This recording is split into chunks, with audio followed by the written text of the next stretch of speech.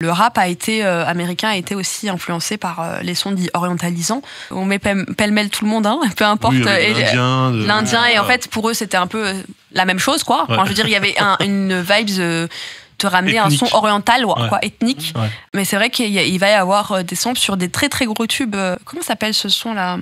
De Jay-Z Ah, euh, Big, Big. Pimpin. Oui, bah ça, c'est c'est Rossara de Abdel Halim dont je parlais. Le... C'est vrai? Eh oui, oui. Ah, C'est ça le sample Ouais, ouais, il y a Qui est eu un incroyable, procès, hein, il y a eu d'ailleurs. un, un- un procès d'ailleurs euh, Ah, ok. à n'en plus finir euh, pour cette histoire. Euh, parce qu'en fait, ils sont allés le piocher et pour eux, c'était qui euh, Sauf qu'en fait, ils samplent Bah oui, la bah. méga star, quoi. Donc forcément, en fait, le son arrive euh, en Ah, Égypte Tout le monde repère direct. Bah oui. et les héritiers se disent c'est quoi ce bordel Ouais. C'est- C'est c'est à nous.